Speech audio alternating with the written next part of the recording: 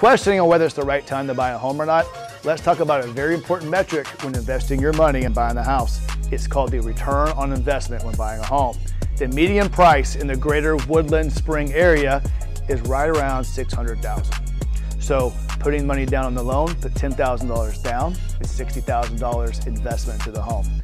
The loan amount would be for 522,000 with an average closing cost of about $8,000. So your total cost to get into the house is about $68,000.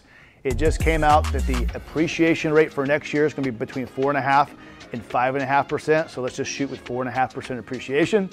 You take $600,000 median price times four and a half percent appreciation rate, you come up with $27,000, okay? You divide those two numbers and you get your return on investment. So take 27,000 divided by the $68,000 to get into the house, that comes up with a 40% return on investment. There's not many investments out there that's that good of a return.